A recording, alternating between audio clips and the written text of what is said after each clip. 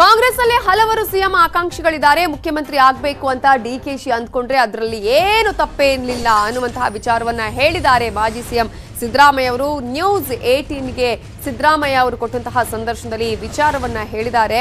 ಮುಖ್ಯಮಂತ್ರಿ ಆಗಬೇಕು ಅಂತ ಹೇಳಿ ಡಿ ಕೆ ಶಿ ಅಂದ್ಕೊಂಡ್ರೆ ಅದರಲ್ಲಿ ಏನು ತಪ್ಪು ಅನ್ನುವಂತಹ ವಿಚಾರ ಹೇಳಿದ್ದಾರೆ. ನಾನು ಎಲೆಕ್ಷನ್ನಲ್ಲಿ ನಿಲ್ಲಲೇಬೇಕು ಅಂತ ಒತ್ತಾಯ ಇದೆ. ಜನ ಒತ್ತಾಯ ಮಾಡಿದ್ರೆ ನಾನೇನು ಮಾಡೋಕ್ಕಾಗಲ್ಲ. ಅವ್ರು ಹೇಳಿದಾಗೆ ಕೇಳಬೇಕಾಗುತ್ತೆ. ಜನರ ಬೇಡಿಕೆಗೆ ಸ್ಪಂದಿಸಬೇಕಾಗತ್ತೆ ಅಂತ ಹೇಳಿದ್ದಾರೆ ಮಾಜಿ ಸಿಎಂ ಸಿದ್ದರಾಮಯ್ಯ.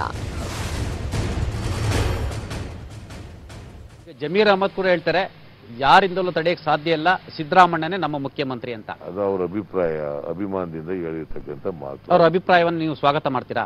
ನಾನು ಆಗಲ್ಲ ಅಂತ ಸನ್ಯಾಸಿ ಅಂತ ಹೇಳಿದ್ದೆ ನಾನು. ಮುಖ್ಯಮಂತ್ರಿ ಆಗೋದಿಲ್ಲ ಅಂತ ಹೇಳಿದ್ದೀನಿ ನಾನು. ಈಗ ಡಿ ಕೆ ಶಿವಕುಮಾರ್ ನಾನು ಸಿ ಎಂ ಆಗ್ತೀನಿ ಅಂತ ಆಸೆ ಪಡೋದು ತಪ್ಪಲ್ಲ. ತಪ್ಪಲ್ವೇ ಅಲ್ಲ.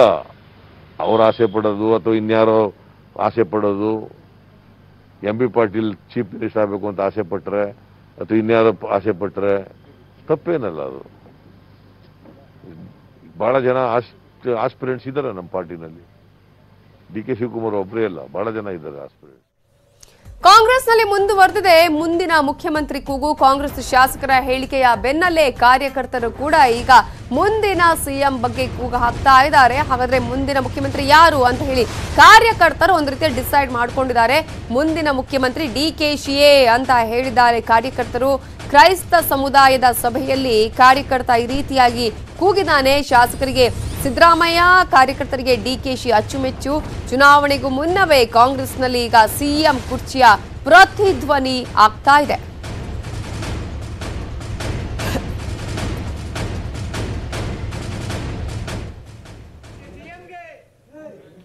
ಡಿಕೆ ಸಿಎಂಗೆ ಡಿಕೆ ಸಿಎಂಗೆ ಡಿಕೆ ಸಿಎಂಗೆ ಡಿಕೆ ಸಿಎಂಗೆ ಡಿಕೆ ಸಿಎಂಗೆ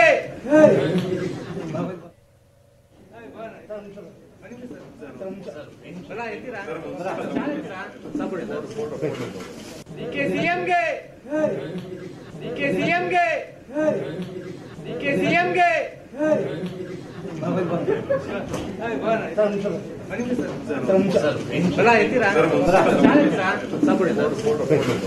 ಡಿಕೆ ಸಿಎಂಗೆ ಡಿಕೆ ಸಿಎಂಗೆ